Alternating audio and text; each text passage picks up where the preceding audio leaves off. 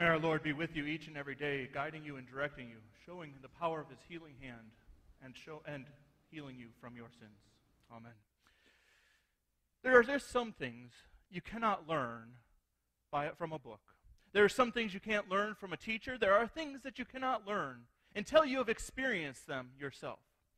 About a year ago, actually a little over a year ago now, I had the privilege to attend our synodical convention in Houston, Texas. For about a week, we went and met together and we talked about the business of the synod. But during that time, there was what was called these red chair videos. And the theme of the convention was one people forgiven. Each of these red chair videos had a pastor, a district president, or a member of the board of directors of our synod, or even the synod president who sat down and they shared with us a, a little informa- a little time when they had forgiven someone or they'd experienced forgiveness from someone. One of the district presidents, one of the early ones, as he sat down, he had a confession that he shared. He confessed that when he was a pastor many years ago, that he had been called to the bed of a, of a man who was dying. Now, this man, it was, he had, been, he had been, not been in the church for many, many years. And the call actually came from his family. The pastor was more than willing to go, so this is not so strange yet, but the fact that when he got there, this man shared with him a little bit about his history. He didn't want a pastor to be there. He didn't want anybody from the church to be there. See, this man had left the church a long time ago because he felt that he had been rejected by the church and rejected by God because he had chosen a lifestyle of homosexuality. And so, he decided he did not want to go to a church or follow a God who would reject his lifestyle. This man, he was dying from AIDS. And this was some time ago. And so when the pastor learned this, well, his, his heart, it started beating a little faster. His stomach, it started to do somersaults as it tightened up a little bit. And his throat closed up. And he wasn't sure then if he wanted to reach out his hand and take that man's hand and pray with him because, because he didn't know and he was afraid. He was afraid that if he touched that man's hand, he may get AIDS himself. But the Lord, he was in that room that day. And that pastor, against his fear and against his judgment, he reached out his hand and he took that man's hand and he prayed with him. But after they prayed, that pastor, he, he was led by the Lord to go a step further, and he shared with that man that he, that he had been afraid to touch him, that he'd been afraid to reach out and hold his hand. That pastor shared that, that, he, that it was something that he was concerned about and confessed. And that man forgave him. But the healing continued. Because that man continued by sharing that even though he'd been away from the church for many years, he, had, he knew what he was doing was wrong. He knew that he was a sinner and that he had that his lifestyle was not one that God had designed. But he was scared to return to the church. He was scared to return to the church where he'd been rejected, where he'd been had uh, where people had turned their back on him. He confessed his anger and his hurt. He confessed his sinfulness. And the Lord healed him not of the disease of AIDS. Shortly thereafter, he died of AIDS. But the Lord healed him of his sinfulness. The Lord called him home to be with him. And, and the pastor, the district president, now shared that, that he knew that one day he would see him in heaven. That pastor learned an important lesson that day, didn't he? It was something that you, he couldn't have been taught in a book. Plenty of seminary professors had told him about the importance of touch in a, in a hospital room, but you can't, you can't learn until you've done. And he learned, though, not only about God's forgiveness, but that healing that comes with it. He learned about the healing of his own heart as he dropped down those barriers, those, those things that separated him from reaching out his hand. If you can even imagine for a minute what that pastor was going through. Your stomach tightening or your throat closing. As you find out someone you love has a, an incurable disease. Perhaps you don't pull your hand away, but inside you pull away, you back away, you protect yourself, you put up those walls. You separate yourself because you know the pain is coming. You're scared to touch because if you do, well, you may experience some of the hurt. If you can relate to this at all, then you can just scratch the surface of what it was like to be a leper in the time of Christ. You can scratch the surface of what it was like to be rejected by your family, by your friends, by those closest to you, to be rejected by your community, those you once ate dinner with, now would, couldn't stand to be in the same room with you, breathing the same air, those you once embraced didn't want you within 10 feet of them. A leper truly had a lifestyle of loss. Perhaps they were not immediately going to die. But many of them, I'm sure, wished that they would because the normal people, well, they thought if a, if a leper got close enough to them, they could, they would be allowed to throw rocks at them to keep them away. And this is where we pick up with Naaman. Because here we have Naaman, a man who is desperate, a man who fears that he will never again take his wife in his arms and kiss her on the cheek, a man who knows that he may never again reach out his arms and pull his children in in a bear hug. A man who, instead of sharing stories about triumphs in battle with his fellow mighty men of valor, will now share stories of rejection and solitude with those who are afflicted with the same disease. He was desperate. He was desperate for anything that could bring him healing. He was desperate to be set free from this, this life altering, this life destroying disease. And so he was willing to hear the words of a slave girl. He was willing to hear the words of a little girl who he had captured in battle. She was not even of his household. She may later have been trained and bred and raised up and even sent and sold to another household. But in this case, her words were the most important words he heard. Because her words were those to encourage him to go to see Elisha. Now, when we understand the context, it starts to add on to things, add on to why it was so hard for him to go. Because to cross the line, to step over into Israel, meant going into the land of his enemy. See, as the commander of the army, he probably had a number of Israelites' heads on his hands, their blood on his hands. He probably had many Israelites who disliked him, maybe even hated him. But he was desperate. He was willing to go, to take the step, to go to see a prophet who he didn't know, and ask for healing. And you can see the desperation he had because he puts together literally a treasure, maybe even his entire life savings 10 talents of silver, 6,000 shekels of gold, 10 sets of clothing. This is probably all that he had, willing to trade for life, willing to trade for another chance to grab hold of his sons or daughters. He was desperate.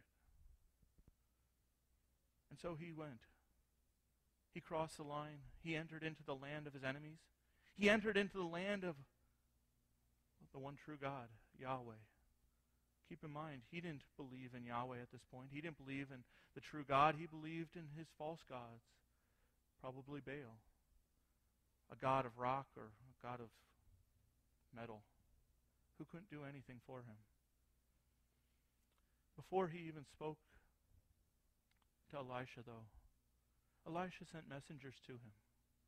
And Elisha sent those messengers and he said, Go, dip into the river seven times and you will be healed. But what was his response? Apparently he was not so desperate because when, he was, when he heard that, he said, No. And he was infuriated. He wanted nothing to do with that. He's not going to jump into the stinky old Jordan River where the flies fly above it and it kind of stinks a little bit. And those unclean people the Israelites wash. But the Lord changed his heart, didn't he? Through another servant. His heart was changed, and he went and he bathed and he was cleaned. He was washed and he was made new, a Gentile. Someone outside of the kingdom of God, washed, cleansed from that leprosy that life altering disease, the hope was returned. Now, this shouldn't surprise any of us. Not if we've ever read Luther's Small Catechism, because we know that right as soon as we read about holy baptism, we hear the words God's holy word and water bring healing. Simple water and the word brought healing to Naaman. Simple water and the Word washed away that leprosy. Simple water and the Word has washed away our sins. Every time we see a child, an adult, any person who comes to the waters of holy baptism, we know that that child is not only healed by that water, but by the water and God's Word coming together and washing away our sins, bringing healing, not externally, but healing of our hearts, healing in our lives. And we know that that healing was so necessary for each one of us because we know that without that healing, we were the outcasts. We were the ones outside of God's kingdom. We were those who were unwilling to stretch out a hand and help another in need. But through the waters of baptism, we have been washed and made new. The old Adam, the old Eve, was drowned and killed. The old Adam and the old Eve was washed away. But we know that even still we st- keep need we keep needing that healing. We keep seeking that healing because we know that there's constantly a battle in us. Well, that old Adam and old Eve has been washed away. There's still that battle of sin in our hearts. And so each day we seek again the healing that comes from God, which he so lavishly gives to us which he so willingly pours out because of the blood of Christ, which he so openly offers to us in his love. And he invites us to offer to others. He invites us to offer that hand, not to someone who is dying of leprosy, not to a person who is dying of AIDS or HIV, but to offer a person, offer that hand to a person who is dying from sin. Because it isn't it sin that robs us of our Christian family? Isn't it sin that has entered into our lives and destroyed the full trust we have in God? Isn't it sin that has ripped us apart physically, emotionally, and spiritually? And isn't it sin that takes and destroys people who do not know the healing power of God? We we're desperate.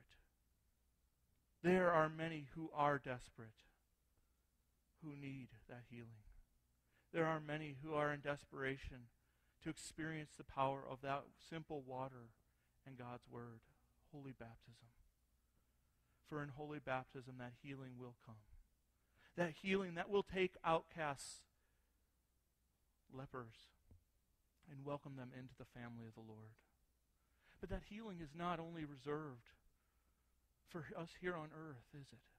That healing is only begun here on earth. The healing that we can't see, that we can't touch. That healing that doesn't restore our, our limbs to make us strong again as we age.